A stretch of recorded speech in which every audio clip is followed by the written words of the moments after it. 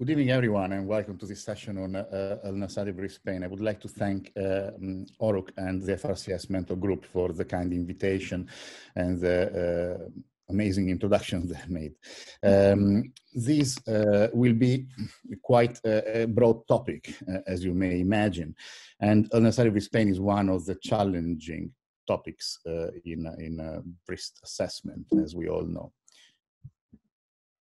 First of all, we need to uh, differentiate between uh, what type of uh, patients would come to our clinic. Uh, we have patients with ulnar-sided wrist pain of unknown origin, and it can be repetitive strain. It's quite common nowadays because of the um, occupational requirements of uh, uh, uh office workers, for instance, uh, to see patients with repetitive strain injuries uh, after working long hours at the desk or using the computer. Or you can have patients with subclinical um, instability of the wrist, especially of the distal radial ulnar joint or mid-carpal joints that can be affected by wrist pain, and this disease is not easy to diagnose. Or uh, inflammation, psychogenic uh, causes, or functional reasons, so uh, associated with specific tasks. Other types of pain are associated with identifiable origin. Uh, and these are the cases of trauma, fractures, for instance, dislocations or soft tissue damage uh, in general, TFCC disorders, more uh, the specific um, portion of this wrist.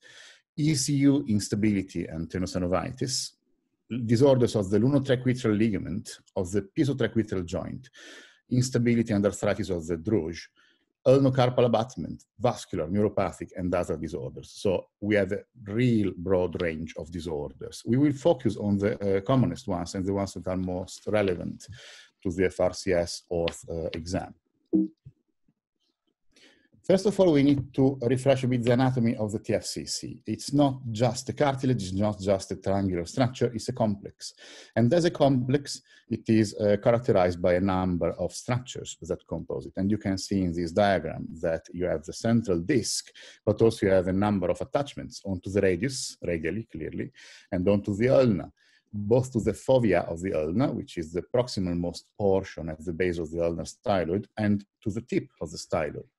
The main uh, and most relevant from a functional point of view attachment of the TFCC to the ulna is the foveal attachment, the one to the base uh, uh, of the styloid. Then you have, of course, the meniscus, and you have the collateral ligament, and you have uh, the dorsal and volar radio-ulnar ligaments that contribute to the stability of the carpus and of the DRUJ. These uh, very nice diagrams uh, by uh, Mr. Donald Sammut uh, explain it all, and you see how complex, especially on the left one, uh, is the TFCC. Uh, we need also to remember that the uh, extensor carpi ulnaris tendon subsheath is regarded as a component of the TFCC, uh, although it's partially external to it. And we have the palmar ulnocarpal ligament complex, which are the ulnotriquetral, ulnolunate, and ulnocapitate ligaments, which are also relevant uh, in case of an injury. And on the right side, you see the volar and the dorsal radioulnar ligaments. If we uh, assess the ulnar attachments, in particular of the TFCC, uh, as I previously mentioned, the uh, most relevant one from a functional uh, point of view in terms of stability is the deep attachment, also called the proximal component or PC uh, of the TFCC the distal component, DC, uh, highlighted in yellow, um, uh, it's uh, the less relevant one. However, uh, an injury to this um, attachment still causes trouble because it causes pain, it can cause minor instability, and uh, it cannot sometimes it can be uh, not compatible uh, with the activities carried out by the uh, patient. Therefore, you need to treat it if needed. Um, remember also the iceberg concept that was uh, highlighted by um, Atzei uh, about uh, and about the uh, shock absorber portion of the TFCC, which is the distal most portion, and the uh, proximal most, which is the stabilizing portion of the carpus and of the DRUJ, uh, corresponding to the volar and, and dorsal uh, ligaments. So it's, it's a, a real complex, not just a little ligament. When you have a TFCC tear uh, and you assess a patient with this type of injury, you need to assess patients for pain and instability. Uh, pain can be uh, elicited uh, when you put pressure directly on the uh, fovea, which is here on the uh, ulnar side of the wrist, just distal to the ulnar head. And if you put pressure on that, you may have a positive ulnar foveal sign, which is pain at the site of injury. However, you can test the patient in ulnar wrist deviation, also applying some pressure uh, as it is shown in the picture, uh, and that can also elicit pain if there is a tear, even a small one. You test the forearm in pronation and supination to see whether this elicits pain, and uh, you perform the TFCC compression test, which is again the one shown in the picture. However, you should also um, uh, deviate the wrist, not just ulnarwards, but also dorsally in order to perform it um, the best, in the best manner. Uh, instability of the DRUJ, uh, you can assess clinically. Sometimes it's subclinical, as we mentioned previously. Uh, some patients have an obvious clunking during pronation and supination, and uh, some others don't, so you need to test it. And you test the stability both in ulnar and radial deviation of the wrist. In neutral deviation of the wrist, uh, you should compare uh, always to the other side to check whether there is a congenital instability or laxity, which is not pathological, uh, and that is present in both wrists. Uh, however, if only one wrist is affected, then when you ulnarly deviate uh, the hand, you would detension further the TFCC and the instability is expected to increase. When you radially deviate the hand whilst testing the DRUJ, uh, you should increase the stability of the TFCC if it's intact or only partially damaged. If that doesn't happen, then the damage is more significant, of course and you can perform the piano key test. You see it on the bottom picture on the right side of the screen. You ask the patient to hold the forearm on the desk or table and press, and you see whether there is a piano key sign of the distal radial ulnar joint in case of uh, more significant instability. That may be difficult to appreciate. And always remember, whichever test you're performing, you always need to compare the wrist, the injured wrist, uh, with the contralateral one. In terms of imaging, X-rays would clearly show a DRUJ dissociation, uh, as it is shown in the X-ray in the center of the screen, uh, or ulnar styloid fractures. Uh, also, ulnocarpal abutment can be seen on X-ray, especially if you see a footprint either in the lunate or in the triquetrum resulting from the abutment, or in the ulnar head sometimes. However, that may be subtle, so you may want to request an MRI scan for that. Uh, in terms of dissociation, uh, when you have a clear dissociation of the, uh, of the ulnar joint, especially post-traumatic, you should suspect a massive tear of the TFCC. And there is something to bear in mind and not to misdiagnose or, or underestimate.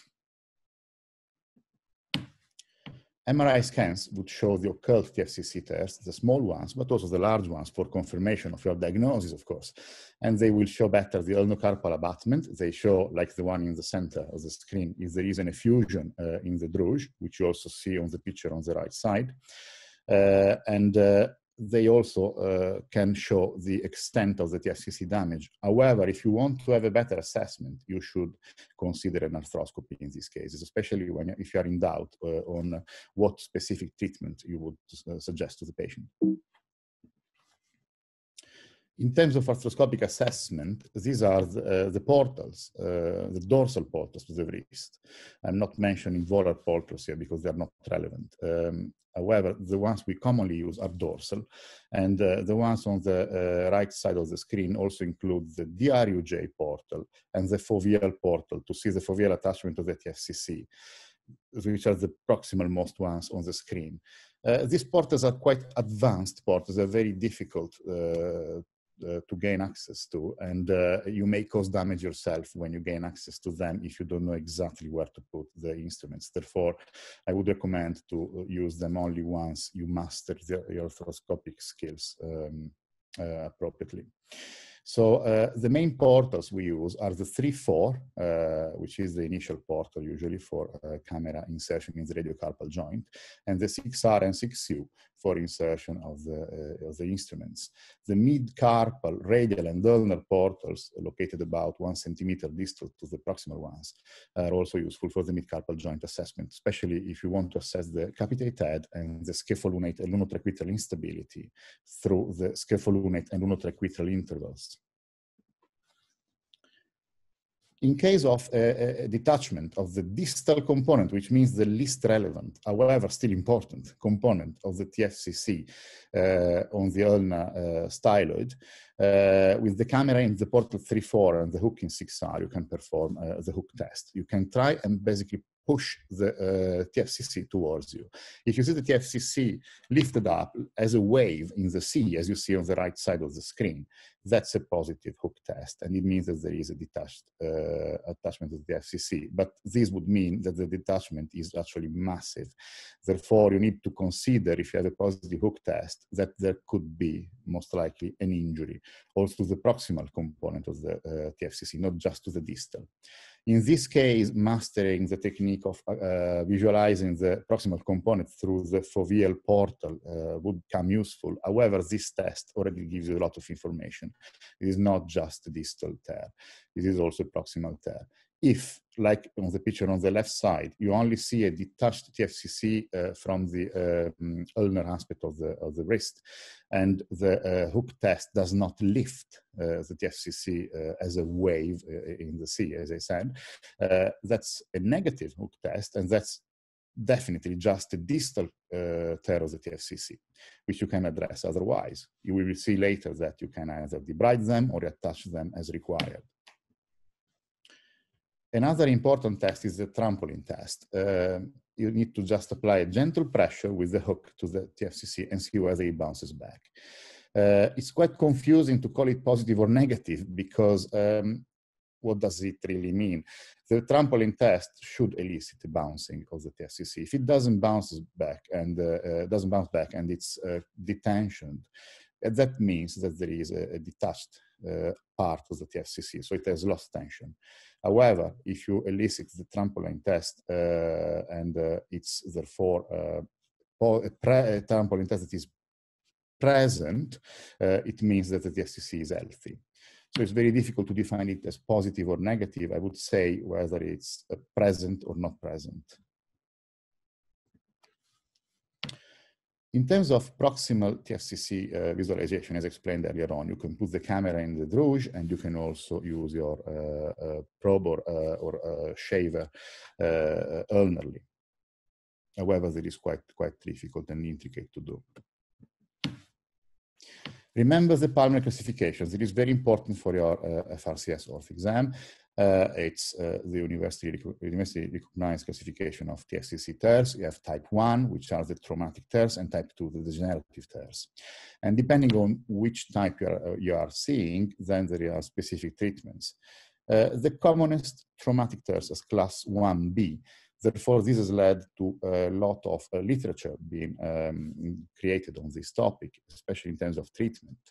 And uh, uh, an important treatment-oriented classification you should remember is the one by Atzei, the EWAS, the European Wrist Arthroscopy Society one, which classifies the tears the 1B test based also on um, the, not only on their characteristics, but also on the uh, repairability or not of the tears.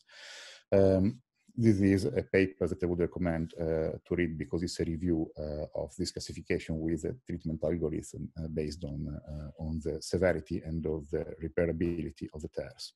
So it could be useful for your exam.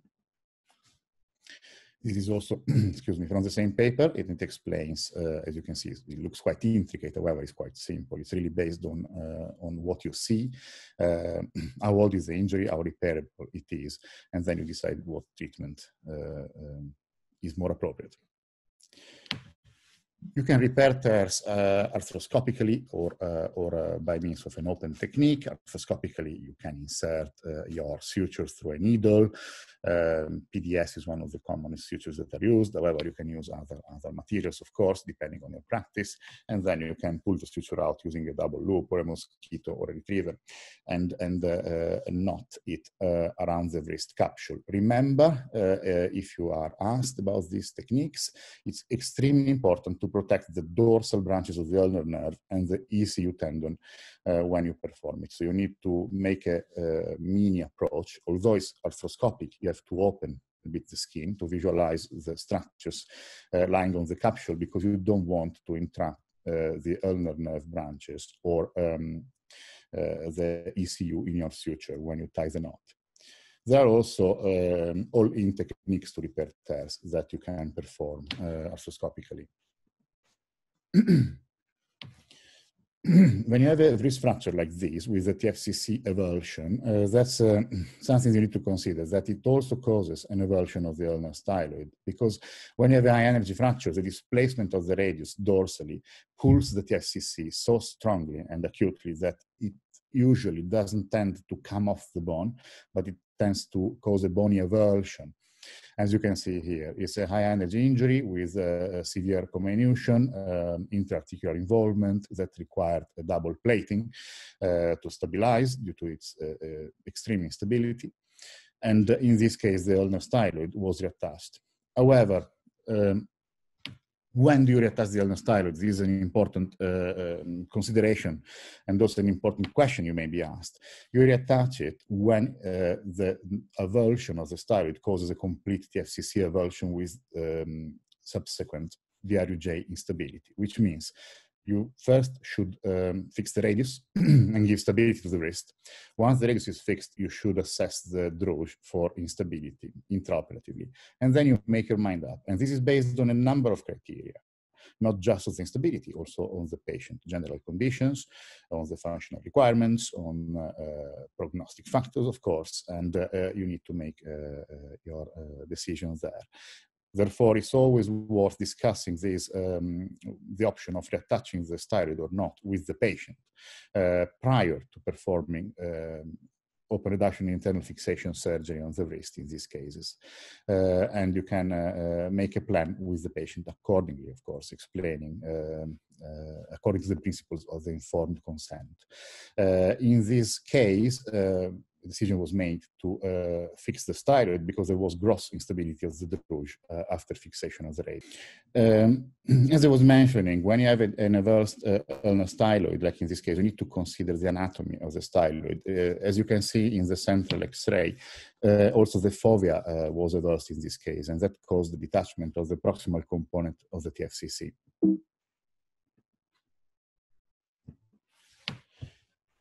In order to reattach the proximal component when it's avulsed without an ulnar styloid bony avulsion, uh, you can do it either by using uh, an, an, anchor, like is shown on the bottom part of this uh, slide, or you can create uh, intraosseous tunnels with K-wires and sutures that will allow you to reattach the proximal component back onto the fovea. Remember, immobilization postoperatively uh, of the forearm uh, to avoid pronation and supination is important. Uh, however, whenever it is possible to, you should uh, start uh, rehabilitation uh, of the elbow inflection and extension and of the wrist inflection and extension. Therefore, sugar tongue splints are very useful for these patients postoperatively. Remember also the degenerative tears and the central perforation of the TFCC. They these ones, uh, they are either non-repairable or do not require repair because don't cause instability unless uh, they affect the peripheral portions of the FCC. Therefore, you would consider a debridement in these ones. When you have a repair, irreparable tears uh, that cause gross instability of the DRUJ, you may want to consider a stabilization. To stabilize it, when the is, when the is no longer repairable, you need to use a tendon graft. There is a beautiful technique that uh, was described by uh, Brian Adams with Berger.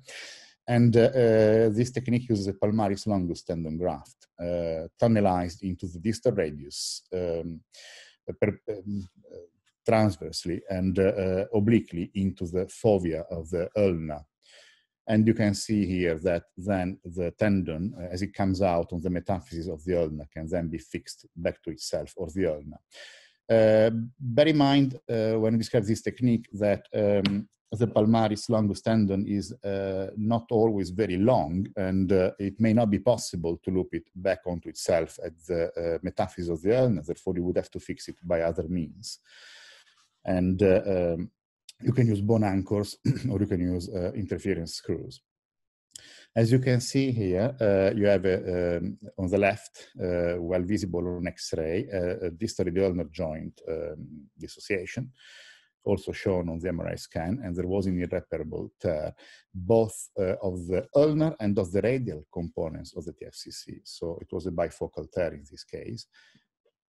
And uh, Adams' technique with palmaris longus tendon graft and fixation to the ulna with uh, bone anchors allowed to restore DRUJ stability.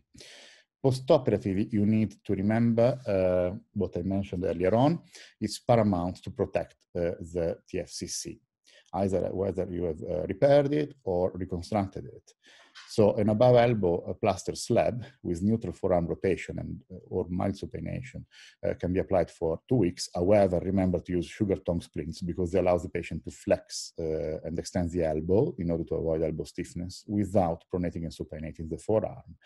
Uh, you can also ask uh, uh, the um, therapists and the patient to consider some wrist uh, flexion and extension out of the splint. However, uh, you need to be absolutely sure that uh, the patient would not pronate and supinate the forearm. So this is a bit risky. It really depends uh, on the case, uh, on the compliance, and uh, on the fact on whether the patient is regularly followed up by the hand therapist or not. And then you have, of course, the option of uh, post-operative rehabilitation with below elbow splinting and return to activities later on. This takes some, quite some time to recover. when you have DRUJ arthritis, which is another potential uh, um, cause of um, ulnar wrist pain, then you have a lot of options. You have non-operative options um, like splinting, occupational therapy with activity modification and posture adaptations, and you can consider injection of steroids in the DRUJ. There are also surgical options. There is a full range of options. Um, one of them, probably the old-fashioned one, was the Sauvé Kapandji option, which you can also use uh, for other indications. Uh, it can still be used in certain cases. However, you need to bear in mind that the ulnar um, stump would become quite unstable and you may face uh, instability uh, and associated pain problems. So this is something to bear in mind. However, if you have a, a stable um, ligamentous structures, you can consider an, an ulnar head replacement. There are also partial ulnar head replacements available. Or if you have a very severe uh, arthritis with very severe instability of the DRUJ as well, uh, so no ligamentous stability that uh, therefore does not allow you to use a normal ulnar head replacement, you can consider the total DRUJ replacement. There is this implant uh, on the right uh, bottom uh, part of your screen that uh, was developed a few years ago, and uh, it has this specific indication. Another cause for ulnar wrist pain, uh, we move on with the soft tissues now, is the um, ECU tenosynovitis. It's quite common you will come across it. It's not always associated with uh, instability. It may be caused by overuse uh, of the wrist. And you need to remember that uh, also this one can be treated either non-operatively or surgically. Uh, you may see some swelling over the ECU, but sometimes the swelling is very mild, so it, uh, it may not be present. However, you would definitely have tenderness on palpation over the tendon, especially over the ulnar head and the distal portion uh, of the tendon, and uh, you can uh, refer the patient for splinting or occupational therapy, again with activity modification or adaptations, and injection of steroids. And you can consider also surgical options if the non-operative treatment fails. Tenosynovectomy, as you would do for any other uh, tenosynovitis if it doesn't uh, subside following non-operative management, or ECU stabilization if you have some instability. Let's talk about instability. Instability can be severe and lead to subluxation of the tendon, as you can see here. Remember that the patients with a shallow uh, uh, groove of the, uh, on the ulnar head for the ECU uh, are more susceptible to develop this type of uh, disorder. However, it can occur to anyone after even lifting uh, um, uh, an heavy object and pronating or, uh, or supinating forcibly the forearm. And uh, this can lead to a um, disruption uh, of the um, osteofibrous tunnel uh, that holds the ECU in place in its groove. And this may lead to subluxation that becomes painful. patients complain of a painful clicking of the wrist during pronation and supination. But sometimes this can be quite subtle, so you may want to investigate it further with ultrasound scan if you are not sure based on clinical assessment in pronation and supination alone. Again, you have non-operative and surgical options. Uh, non-operatively, you can use an elbow cast uh, uh, and a sugar tongue splint, uh, but again, it should be an acute uh, injury to the sheath of the ECU for this to work. Otherwise, it wouldn't work.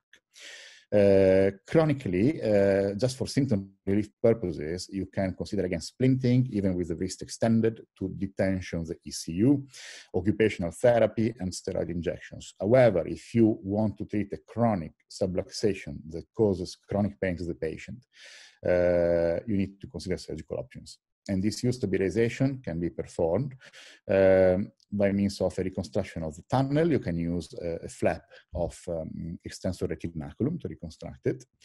Or if you are in an acute setting and you um, are treating acutely uh, an injury that occurred recently, you can just repair the tunnel as required pisotriquetral disorders. So we move to the other side uh, of the wrist, the volar side. Uh, however, we remain on the ulnar uh, aspect of the wrist. These are also common. Uh, clearly, uh, arthritis has the lion's share uh, because uh, pisotriquetral arthritis is quite common because of aging process, because of uh, uh, the way the, the hand is used, specific occupational reasons or hobbies. And uh, it's quite painful because every time uh, the patient applies pressure uh, to the pisotriquetral region, uh, the pain is, is elicited. And it's quite, uh, um, it's quite a, a difficult uh, pain to cope with because there are a number of activities that we do when we require power grip or to apply pressure to the um, volar ulnar aspect of our wrist. Therefore, it's, it's, quite, uh, it's quite a problem and uh, definitely requires uh, to be identified and treated. In terms of uh, investigations, uh, you, uh, you would request X-rays in 30 degrees of supination in order to, to be able to visualize the pisotriquetral joint. Uh, and in terms of MRI scan, of course, as you can see here, uh, that becomes even clearer if you have arthritis or pisotriquetral ganglia or effusion, because they become very obvious on the MRI scan. Remember that they can also cause compression to the neighboring structures like the ulnar nerve, as we will see later on in the presentation. pisotriquetral joint arthritis, the diagnosis is clinical really, uh, based on the presence of pain on palpation and direct pressure on the area, there can be swelling, but swelling can be subtle as well, depending on the size of the hand as well, uh, and of the subcutaneous tissues uh, of the patient you are assessing.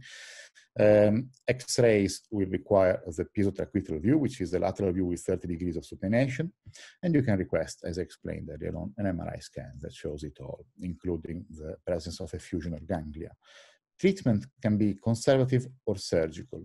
Conservative uh, is uh, splinting or application of a soft padding to, to the area uh, that the patient can use uh, whenever they work or perform their hobbies that would cause pain otherwise, or steroid injections into the pisotriquetral joint. I would recommend to do them either X-ray guided or ultrasound guided because it's quite difficult to have access to this tiny joint, especially when the space is very narrow. Surgically speaking, uh, you can uh, is, propose either a pisiformectomy, so excision of the pisiform, or pisotriquetral fusion.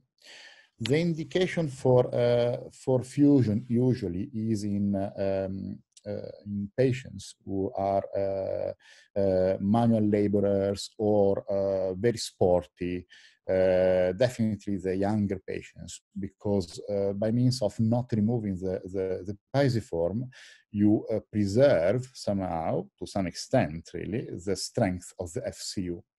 Uh, removal of the uh, pisiform is not a big problem in terms of um, ECU strength reduction. However, it has been demonstrated that there is some strength reduction. Therefore, you wouldn't want uh, to consider probably a pisiformectomy in a younger patient uh, with high functional demand and uh, uh, performing sports. Lunotriquetral instability is another potential um, cause of ulnar-sided wrist pain. Uh, sometimes it, a lunotriquetral ligament disruption is associated with an TFCC uh, tear, especially if post-traumatic. Therefore, uh, arthroscopy once again becomes quite important because you will be able to see whether there is a step-off in the lunotriquetral joint, not seen on X-ray, or uh, whether there is uh, uh, the presence of a gross instability that allows you to insert your hook in the lunotriquetral interval and see whether this dissociates. Remember also that um, in the later stages uh, of lunotriquetral dissociation, you may also see the, the so-called VISI deformity, uh, which is uh, the opposite of the DISI. So you see the lunate tilted um, palmarwards instead of dorsally. This is something we all see in clinic uh, every so often is a, is a congenital um, difference. It's called lunotriquetral coalition. There is a classification for it. There are three types. Uh, you can have a, a so-called champagne flute uh, uh, pattern, which is the top one on the right side, uh, and uh, um, you see a partial coalition is a synchondrosis, mostly in that case, but it can cause pain because of the stiffness of the lunotriquetral interface. In type 2, you see a partial coalition, partial bony fusion. Type 3, you see the total bony fusion. I'm mentioning this because this is, again, congenital, as I mentioned. Uh, and uh, uh, over time, it causes arthritic changes. Uh, we see patients um, in, uh, in the, uh, the 50s usually or 60s coming to our clinics with this kind of uh, disorder. This is quite severe in the specific case I've chosen for this presentation. However, you can see milder types of um, arthritis and abutment in the area. It is clearly uh, ulnar um, uh, um, sided uh, abutment in the wrist that causes ulnar sided pain, sometimes a bit more central sided because the lunate is affected. However, it can be a cause of ulnar sided wrist pain treatment is quite difficult here because you don't have a lunotriquetral interval. Uh, so you need to consider uh, initially non-operative management, including splinting and uh, uh, steroid injections. But if you then have to consider surgical treatment, uh, it becomes more, more intricate. And uh, also because the lunate fossa uh, of the radius, uh, like in this case, appears damaged. So you need to consider carefully your options because these patients usually have quite a good range of motion. So any bony surgery needs to be carefully discussed with the patient, um, discussing the balance of pros and cons very, very carefully. These ones are more subtle types. Type 1, for instance, as I showed you earlier on today, you may not be able to identify it initially the first times you see it, but over time with practice, and as you see more of these um, coalitions, you will get used to it. And you can see the champagne flute um, configuration.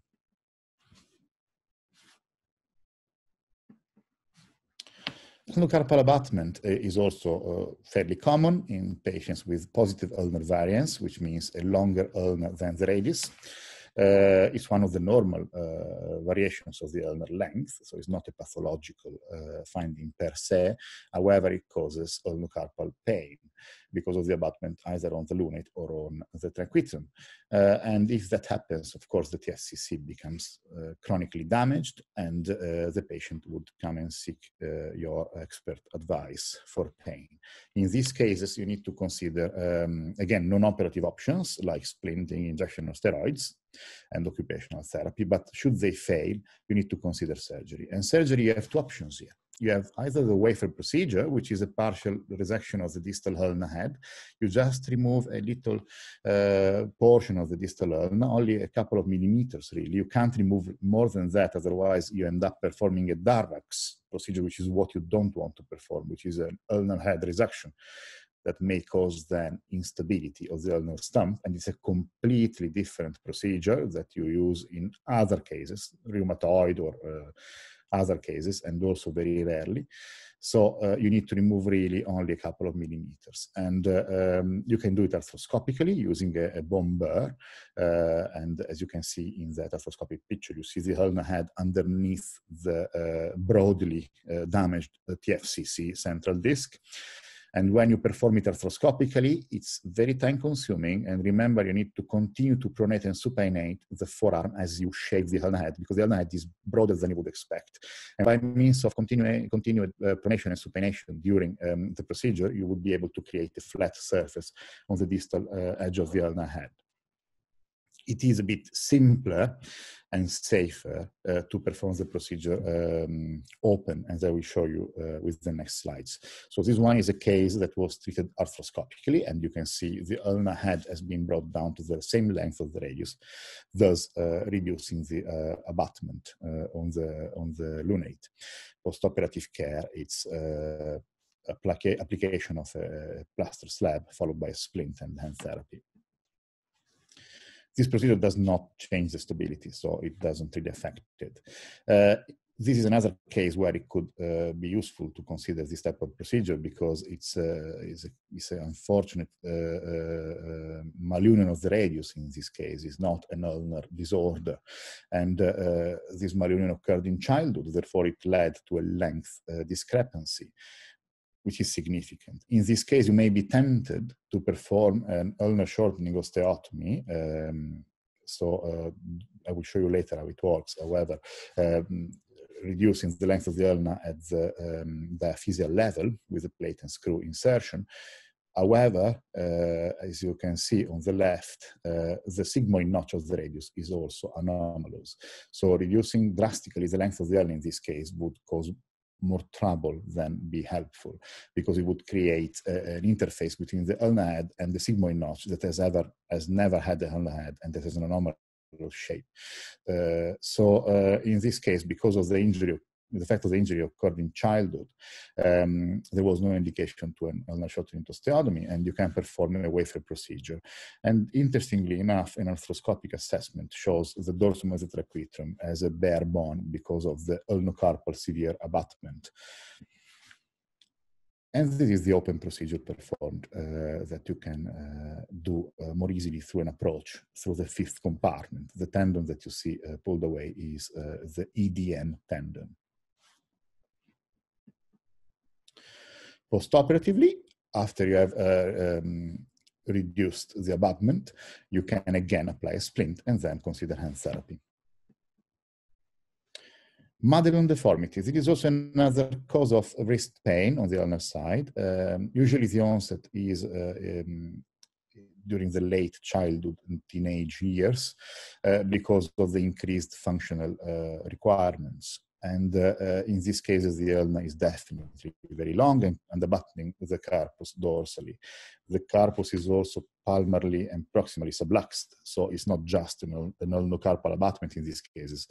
Uh, in order to achieve um, the extent of shortening uh, you would like to achieve in these cases, you need to consider a formal osteotomy, not just a wafer procedure. So you need to shorten the ulna as much as you can. Uh, depending on the system you use for the ulnar shortening osteotomy, may be able to shorten uh, even up to eight millimeters or sometimes to one centimeter. So it's quite a significant shortening you can achieve uh, by, um, by these means. Remember that there is also the option of correcting the radius by means of a corrective osteotomy that increases, uh, no, improves not only the tilt uh, of the radius in both planes, but also the length because of the uh, improvement of the tilt to some extent.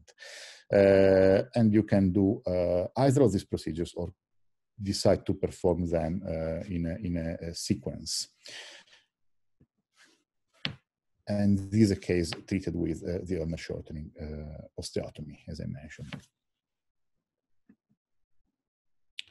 Malunion of the distal radius is another is another problem. Um, when the malunion is significant, so you have a significant dorsal tilt of the radius, then you would consider uh, correcting the malunion first.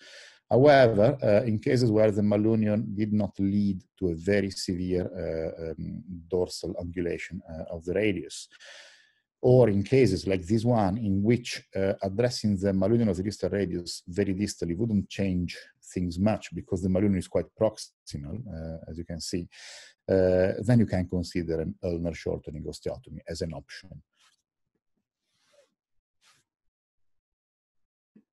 And this was done in this case, uh, leading to uh, uh, resolution of the pain. Remember that we're not only here to discuss about bony disorders of, of, or tendinous disorders, but we're talking about ulnar side pain. Another potential cause, which is not that common, however, not even that uncommon, is the hypothenar hammer syndrome. Remember, uh, this is usually associated with uh, uh, manual activities uh, of the patient, especially repetitive uh, um, trauma to the, or micro trauma to the ulnar aspect of the wrist and palm of the hand, and is a true ulnar artery aneurysm that you should treat as such. It can be resected and the ulnar artery ends can be either joined together or in case they don't reach, which is not common, however, you can uh, uh, use the vein, a vein graft to reconstruct them. So this is something you should also mention as a potential cause of ulnar side of wrist pain,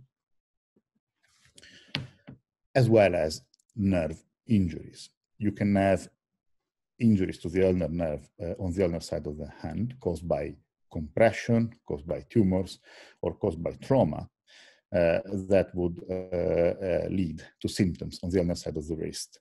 The anatomy of the ulnar nerve is paramount, especially uh, in terms of Guyon's canal anatomy. You need to know that there are three zones. In zone one, you have both the motor, which is the proximal most. You've got both the motor and the sensory components of the nerve. In zone two, the motor ones, and in zone three, uh, the sensory, distal to the bifurcation. Uh, remember that uh, anything arising from the pisotriquetral joint, like a ganglion, for instance, can compress the ulnar nerve uh, in zone one. And remember that a fracture of the hamate, especially a fracture of the base of the hook of the hamate, can cause a compression of the ulnar nerve in zone two, or even zone three if, if it is badly displaced and there is um, local um, uh, effusion and, uh, and bleeding as well. So you need to remember also these. You need to remember the, the anatomy uh, of the nerve and the symptoms that make different the Guyon's canal compression from an higher compression of the ulnar nerve. Thank you very much for your attention. Thank you um, very much, uh, Mr. Garagnani. Um, yeah, that was very interesting. Um, yeah, I certainly learned a lot. It's one of those things that I think we sometimes forget when we're treating distal radius fractures and they have ongoing pain. We sometimes forget to think about distal radial joint arthritis or um, TFCC injuries. So it's really useful. I'm sure the candidates will um, appreciate it. I got distal radial joint osteoarthritis in one of my short cases in my exams as well. And I think I also got a Madelung, so it's very important. Um, so what I'm going to do now is I'm going to ask Joe um, to unmute himself and ask some questions that the candidates have been putting in the chat box, if that's okay. Off you Hello, go, Mr. Joe. Garagnani. Uh, hi. Thank you, Nikki. Hello, Mr. Garagnani. Very, very nice talk uh, and very important, actually, and especially in the short cases. Uh, so the first, uh, actually, it's a very popular topic. Um, so the first question was, uh, is it the MRI or an MR arthrogram uh, better to look at the TFCC? Yeah, uh, this is actually a very good question because the MR arthrogram is something I was also trained at when I did my training in and and uh, but it's actually something we don't use that much because uh, nowadays uh, the arthrogram can can show perforations of the TFCC that are not really significant from a, a, a pathological point of view. We, we may have a TFCC perforation at birth and we're not aware of it. So uh, the arthrogram has lost a bit uh, uh, grounds compared with traditional MRI scans, which would be perfectly reasonable to do nowadays for a TFCC, bearing in mind that nowadays we can also do an arthroscopy. So whenever we're in doubt, we can actually assess it better by means of direct visualization. So I would say MRI and arthroscopy is now the gold standard. Yeah. Thank you. Uh, ideal implant for fixation of the ulnar styloids? Uh, there are uh, there are implants. Um, in the case I showed you, um, a screw was used. However, you can use uh, K wires for fixing it. You can use a figure of eight uh, uh, suture as well as even linked to a K wire or two K wires. so it's a tension band construct. You can even use tension band wiring if you have very fine um, tension band wire available. Uh, or um, there are also, when you have fractures of the head of the ulna including the styloid, there are also little plates available that allow you to hook the ulnar styloid down back yeah. on its, its base. Yeah. And for the Galeazzi fracture, of course, with disruption of the steradial joint, how many K wires do you use? Do you use one or two? We tend to use two K wires in those cases to give uh, better stability, yes. And to leave it for how long? Uh, usually six weeks for the soft tissue healing. Yeah. But clearly, you need to bear in mind that they are very difficult, uh, this, this case, those cases, because uh, K wiring of this sternal joint leads to significant stiffness and also may uh, uh, um, cause uh, other um, periosteal reactions that can cause pain as well. So you need to be a bit careful. And do you bury them or leave them I would, around? personally, I tend to bury all K wires in the wrist uh, mm-hmm. because I'm well aware of the risk of uh, septic arthritis and osteomyelitis, which is a disaster in the wrist. Good. And uh, is there any preference or selection for the patient uh, to uh, decide Darrach as uh, versus to Sauvé or fusion or arthroplasty? Darrach, I would tend to use only in extremely selected cases. I'm talking about uh, elderly patients with very low functional demand and extreme changes of the wrist, talking about rheumatoid cases. Uh, and uh, in that case, uh, a Darrach could, could do uh, the job, of course, of, uh, of improving the symptoms. However, it's not my first choice ever, and I don't think that uh, is anyone's first choice nowadays. So the yeah. has also very limited indications, and this again something that is more historical nowadays rather than currently used much. Uh, so uh, we tend to use more uh, replacement surgery when required. However, uh, it's not always required because there are also non-operative treatments available. Yeah, thank you. And um, is there any specific test to do on table under GA to uh, test the stability of the distal radial joint? Yeah, it's very important to test it. It's just the same way you would test in clinic, really. Yeah. Uh, so you need to test it with the wrist in this position in ulnar deviation to test if there is some instability, which should be present in ulnar deviation, neutral, and radial deviation. In radial deviation, it should tighten up. So the TFCC should be able to, to uh, investing it uh, is to test uh, by, by, means of moving the radius instead of moving the ulna. Because actually, if you think about it, the ulna doesn't move in dorsal and on the dorsal and, and, palmar plane. It is the radius that does it. So you could hold the ulna stable and move the radius. It doesn't really matter as, as long as you test the stability of the joint. Yeah, thank you. And uh, there is a question from a physi physiotherapy point of uh, uh, view. Uh, uh, why do you prohibit supination pronation after reconstruction, and for how long? Yeah, uh, yeah, that's a, a, very good question because it really depends on what type of reconstruction is done. I would say if it's a minor peripheral tear that you have this like a distal component of the TFCC tear that you repaired, uh, you uh, can actually safely start mobilizing sooner rather than later. So in that case, I wouldn't immobilize pronation and supination for six weeks. I would do it for a limited period of time, just two weeks probably, uh, and then I would start with gentle uh, exercise. But that really depends on the stability that you have achieved. Uh, if uh, you perform a reconstruction of the TFCC, then I would wait a bit longer because uh, although the risk becomes stiff it's yeah. actually the aim of the procedure to create some stiffness. Uh, we will overcome the stiffness with rehabilitation later on. Uh, so uh, it depends really on the severity of the injury and on the repair you made. So if it's a stable repair with a small injury, you can move sooner uh, in pronation and supination. If it's an unstable, uh, very unstable um, TFCC, uh, badly torn, and uh, the repair is significant or a reconstruction is being performed, then I would be a bit more careful. However, the sugar tongue splints allows you to mobilize the elbow. Uh, and also you can ask the patient, as I said, to flex and extend without pronating and supinating. Yeah. Uh, after four weeks. So they start uh, uh, mobilizing the wrist. Yeah, thank you. And in type 3 lunotriquetral coalition with cystic change in the lunate, proximal row carpectomy, is it an option? I would actually like to ask this question to everyone yeah. in the audience because uh, uh, yes, I think so. because this is actually a good question for uh, uh for the exam. It's uh, it's not it's not an option if you have um, uh, lunate fossa changes. So whenever you have lunate fossa changes, uh, unfortunately, you lose a lot of options because you lose the option of performing a proximal row carpectomy.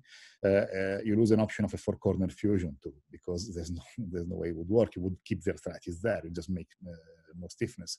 So in that case, then you need to consider um, more significant procedures, talking about arthroplasty or total joint fusion, or a more benign one, which is the denervation of the wrist. Uh, denervation could allow you, uh, unfortunately not in all cases, but often it works, to uh, reduce the symptoms or uh, significantly improve them, and by time. Yeah, thank you. So, uh, well, this is more or less three questions in one. Uh, so, how much ulnar variance uh, can be corrected by wafer? Mm-hmm. And uh, how much ulnar variance needed to be treated? And can we do a radial lengthening in, uh, instead? So, uh, first question: A wafer doesn't correct more than two maximum three millimeters. I wouldn't do more than that. Otherwise, as I mentioned, it becomes a Darrach. Uh, the ulnar head is not very long, so you end up uh, removing a lot of ulnar head uh, if you do more than that. Uh, if you need to shorten by uh, more than two or three millimeters, I would recommend that you perform an ulnar shortening osteotomy. Uh, which you can perform from anything between five to eight uh, millimeters or even one centimeter with some systems. It depends on the system, on the plate uh, uh, that you choose, really, because each company makes it slightly different. Uh, in terms of uh, um, when you need to do it, you need to do it only if the patient is symptomatic. So if the ulnocarpal abutment is present but not symptomatic, there's clearly no indication. We treat pain, we don't treat the X-ray. Uh, so uh, if there is there are symptoms and uh, they are unfortunately uh, present despite non-operative treatment, then you consider a shortening and you discuss the extent of shortening based on the length of the ulna. An important point um, I didn't make during the presentation, but I will make now, is how to request the X-rays to assess the ulnar length. You need to ask the radiographer to put the arm in this position with 90 degrees shoulder abduction and 90 degrees elbow flexion. Is the mm-hmm. only way for the post, posterior anterior uh, x-ray view. Is the only way uh, to see the actual length of the ulna in relation to the radius. And then you can measure the extent of ulnar positive variance but again, you only operate if the patient is symptomatic. Don't operate on an asymptomatic one. Last question was um, about. Um, Can you do radial lengthening? Radial lengthening. Radial lengthening, I would not really recommend because uh, it's a very uh, intricate procedure. Uh, it requires bone grafting, most likely, uh, and uh, it's an extensive approach, and uh, it's not as benign as a wafer or as an ulnar shortening. So it is possible. Uh, however, we only use radial lengthening when we have a significant discrepancy, uh, when we uh, would not be able to achieve uh, an, an, appropriate uh, shortening, uh, sorry, decompression of the ulnocarpal region with ulnar shortening alone. So we can do radial lengthening, and if it's not sufficient, you also do ulnar shortening on those cases. But usually we're talking about distal radius malunion in this case. Thank you very much. Thank you. okay, that's great. Thank you, Joe. Um, so what we'll do now is, um, if Ruth is available, we will share the MCQ questions. Um, and if you can all answer them as soon as you can, as I, as I said before, it's all anonymous. We don't know what answer you've put, but the sooner we do the MCQs, then we can move on to the Vivas. Thank you. I'm afraid that's not correct. Um, it is not the commonest cause of unnecessary wrist pain. It is one of the potential causes. It can definitely be treated by means of osteofibrous sheath reconstruction, which is, I see, what uh, most people have uh, correctly uh, uh um, confirmed, uh, especially when it's uh, either um, acute, you can do a repair, or chronic, you can do a formal reconstruction. Um, and the the thing that uh, about DRJ instability is also very important because um, the ECU, just like the uh, PQ, the pronator quadratus, are extrinsic stabilizers of the DRUJ. Therefore, a subluxation or a, a disruption of the osteofibrous sheath of the ECU does uh, increase the risk of DRJ instability. Uh, and uh, um, as such, uh, it is important to treat this, this injury.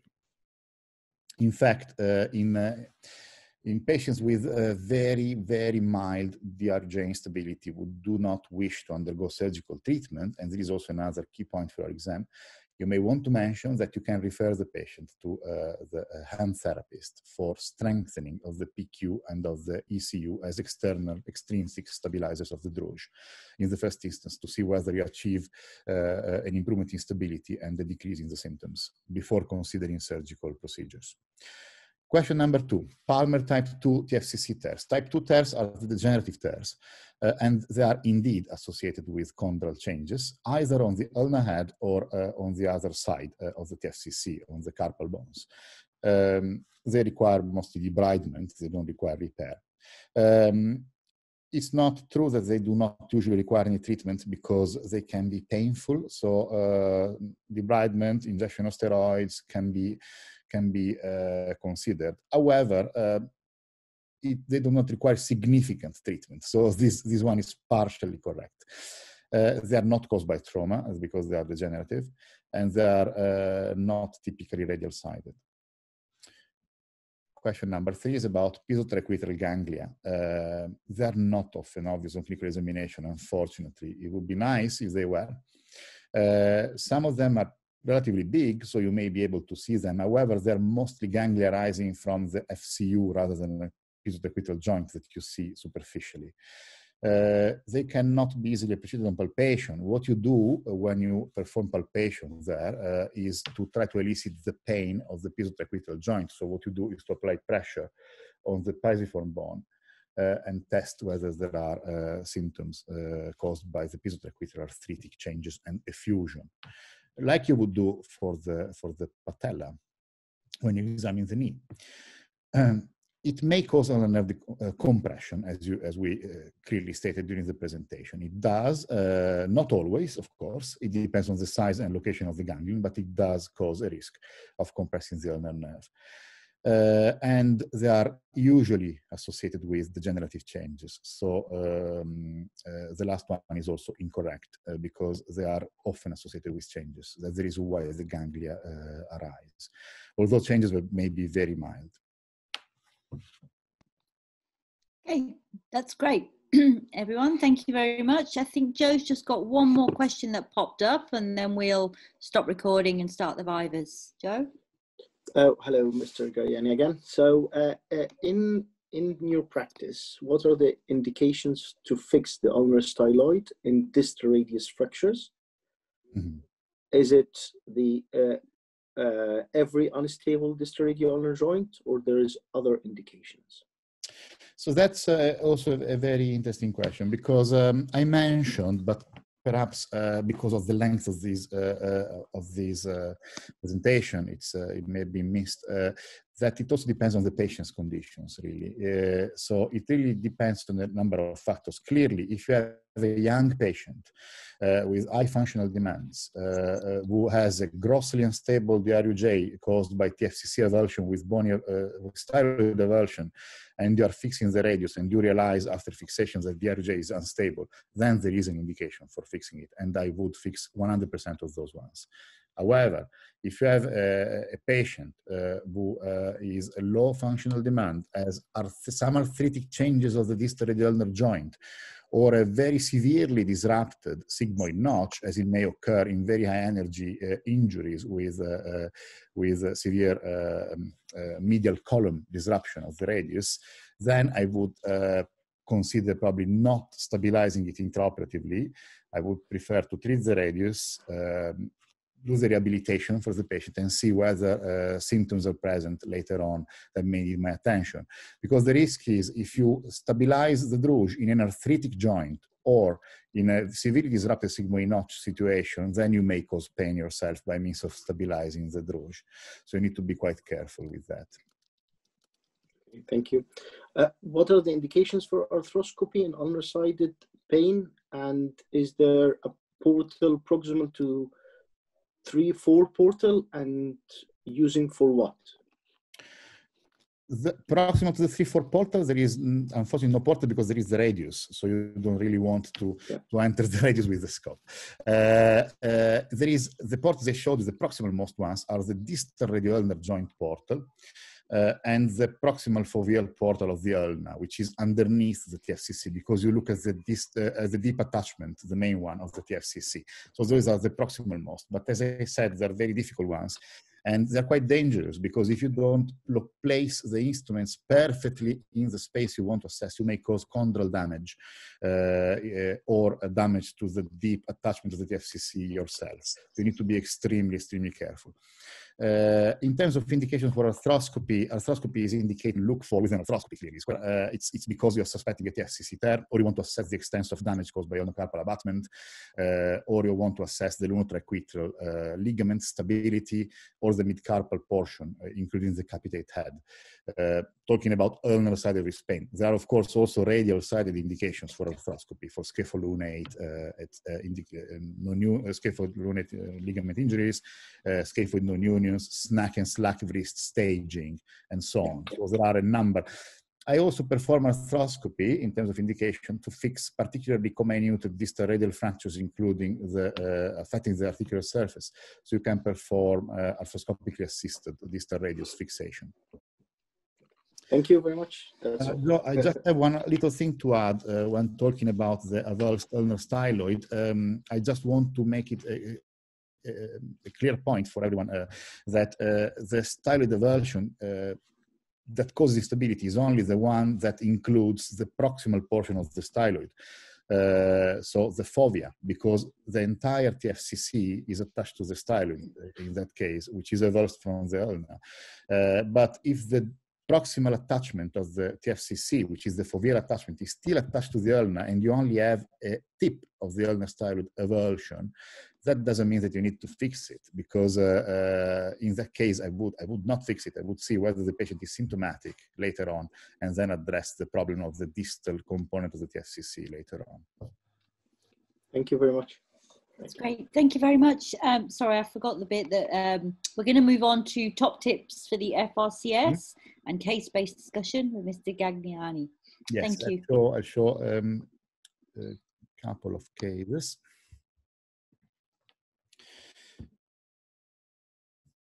So, just as a reminder of uh, the ORUC revision books, here we are. Uh, we have a case, we may be presented with a case uh, of uh, high energy injury uh, to the wrist. This is a case of uh, right dominant, uh, young and healthy patient, semi-professional horse rider that fell off the horse seven months before seeing you in clinic and was treated elsewhere. So you see this patient seven months later with a, a wrist fracture already treated elsewhere in a cast. Uh, and she comes to see you because of right wrist uh, pain, clearly ulnar-sided, because it's the topic of tonight's uh, uh, discussion, and weakness. First of all, key points when you're asked something about ulnar-sided wrist pain after high-energy trauma, uh, you need to consider any potential previous injuries, also before the injuries that is reported to you. You need to ensure that you are assessing whether the patient has comorbidities because you are suspecting that there is something relating to the trauma that may need uh, surgical treatment. Therefore, you want also to know whether the patient is a smoker or not, uh, because that may affect the prognosis of what you perform you need to consider the type of trauma, in this case, high energy. So remember always to, uh, to perform a thorough um, clinical history uh, uh, collection when you do uh, this, um, this uh, uh, type of assessment. The timing and the type of treatment received. The patient was treated elsewhere in a cast, but when? Was it just after the injury? Was it two months later? Was it a timely treatment? Was the fracture reduced? Uh, was the cast a full cast or just a back slab? Was it above elbow or, be or below elbow? May have these caused any other stiffness issues that you are not aware of? So you need to be able to gather all this information uh, when you see the patient. This is very relevant to your uh, um, FRCS orth exam. You need to demonstrate that not only you have the knowledge, but you have the capacity to to apply it in clinical settings. So you need to know not only what you're talking about, but also why you're talking about what you're saying. So it's very important to start from, from the beginning. So talk about uh, patient assessment, clinical history, and then clinical examination. What symptoms uh, in this case? Okay, we know it's ulnar side wrist pain, but what tests would you consider? Would you consider a DRUJ uh, stability test? Definitely yes, after a distal radius fracture or a wrist fracture in general, because you don't know why the TFCC has been disrupted. You don't even know if the ulnar styloid has been avulsed or not. Uh, you need to check if there is a deformity of the wrist. You may see it or you may not see it. If there is any swelling, ECU inflammation after the trauma, subluxation caused by disruption of the osteofibrous tunnel, you need to assess that as well. Uh, you need to assess the range of motion. Was uh, physiotherapy uh, carried out after casting? What is the current range of motion? Is there mechanical limitation? Is there pain associated with motion? And the stability of all the key players, not only on the ulnar side, but also on the, on the radial side. So I put also the scapholunate ligament there. Never forget to mention the scapholunate ligament. It's uh, uh, one of the most relevant, important ligaments we have uh, in our wrist. Uh, Lunotriquetral clearly, because we're talking about ulnar side wrist pain, mid-carpal joint stability, and distal radial joint. The patient uh, undergoes investigations. You get an X-ray, and the X-ray shows a healed distal radius fracture, but it shows an avulsed ulnar styloid. Um, so you can then decide what you want to do. You want a CT scan to assess if there is union. You want an MRI scan, like in this case, to assess uh, the TFCC and not just the ulnar styloid. And the MRI scan here is very instructional in this case because it shows clearly what I was explaining a few minutes ago, which is that uh, when the ulnar styloid is completely avulsed, like in this case, including its base, which is that thin lip of bone you see um, radial to the ulnar styloid, uh, clearly you can see on, on the MRI scan that the whole of the TFCC has come off with the ulnar styloid. So you see there is a TFCC and the ulnar styloid is attached to it. So there is nothing left on the ulna in terms of TFCC attachments. This is a complete version of the TFCC that clearly causes an instability. So this patient is coming to you complaining of pain on the ulnar side of the wrist and of uh, weakness. Remember that instability of the DRUJ um, can be a reason for the weakness, but can also be a consequence of um, the uh, lack of supportive musculature. What about the ECU? Is the ECU strong enough to help and try and stabilize this grossly unstable DRUJ? What about the PQ muscle? So that's the reason why you need to have asked the patient about physiotherapy. You need to check also the muscular mass of the forearm in the patient and compare it with the other limb. So it's all connected. Remember, it's not just the wrist you're assessing. You're assessing a person with an injury and you're assessing the patient as a whole, not just an X-ray or an MRI scan image. So extremely important to do everything appropriately and show um, confidence in your uh, clinical examination and not just uh, in your knowledge. Um, in this case, of course, now you know that there is a gross instability. You know that the uh, ulnar styloid is non-united. There is nothing really visible here in terms of bridging, not even fibrous bridging. You don't see any, any changes in signal. So it's completely non-united. So you need to consider uh, other things. So we already discussed about how to test the stability in ulnar deviation, neutral, and radial deviation of the wrist by means of either moving the ulna or the radius, if you prefer, which makes more sense, to test the stability.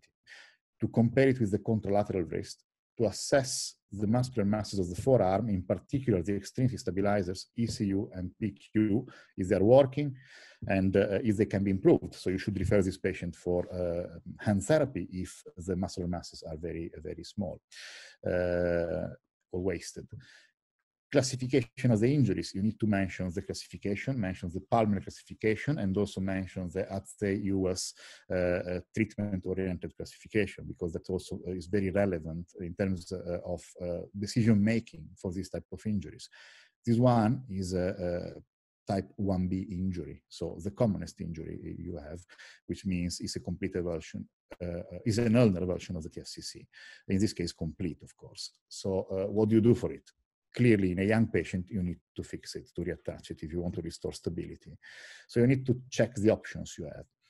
Uh, if you are asked about non-operative options, again, remember to mention the extrinsic stabilizers, the muscles. Remember to mention splinting. Remember to mention that this patient could have been treated, but you don't know what happened because you didn't see the patient beforehand. Could have been treated with um, a sugar tongue splint for six weeks after the injury in order to try and achieve uh, healing of the ulnar styloid. Remember, it takes a long time for the uh, styloid uh, fractures uh, and the avulsions healing to occur, but it may occur especially in young patients. And uh, uh, it may take even several months sometimes to see some bridging, either fibrous or bony, across the non-union site in these cases. It's not uncommon to see that. Certainly, it's not happening all times. So that's also another problem you need to be very aware of and discuss with the patient. So again, you have a full range of options there. You need to, to have in front of you when you talk to the examiner uh, the patient. So pretend the patient is there with you it's not just an image and think about the conversation you would have with the patient about non-operative operative timing of your treatment. If you want to try with muscular strengthening first and uh, splinting again is perfectly reasonable. However in a non-union setting like this one it may not work, it's likely will not work, so you would have then to consider surgical options. Uh, however, again, you need to show that you are confident with all the options and you know uh, when they can be uh, performed. So this is extremely important. Should we move on with the uh, next case? Okay, uh, another case um, I would like to present you uh, as it is something that may be asked to you during the FRCS Orth exam. And again, it's not the easiest type of cases you may be asked about. Uh, uh, is this one. You have a 19-year-old patient coming to your, uh, to your clinic, is a manual worker, otherwise healthy, complaining of of wrist pain, especially when riding a bike or using a drill or screwdrivers. Patient cannot recall any specific trauma, certainly nothing relevant to the wrist and he complains of spontaneous onset of pain three years ago that was never investigated. So the first time they come to the hospital for this problem.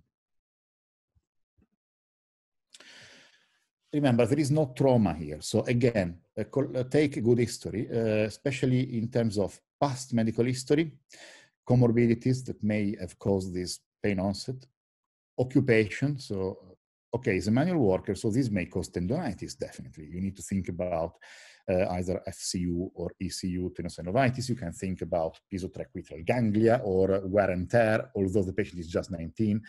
Uh, so you need to think in terms of differential diagnosis. However, uh, you need also to consider that there are um, disorders that are not uh, just caused by the occupation of the patient, but they're caused by genetic factors.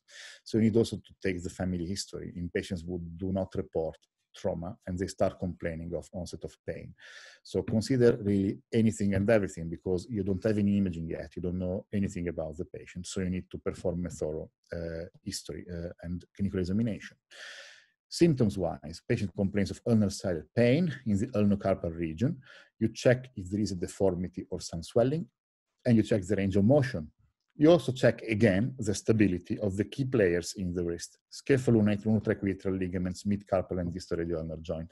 If you can elicit any clunks or any instability uh, in comparison with the contralateral wrist. So you examine this patient and you see that the ulnar head is quite prominent in both wrists on the dorsum of the wrist, which is not that uncommon. Many people have prominent ulnar, especially those with a positive ulnar variance. However, this patient is quite a prominent one. So you start thinking about it and you, again, remember the family history I mentioned. You can ask the patient whether anyone else in the family has the same.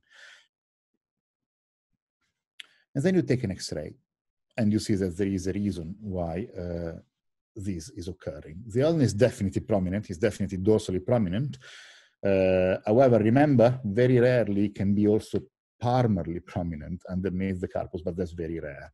So I wouldn't expect the examiners to ask you this during the FRCS, or it would be a very uh, difficult question.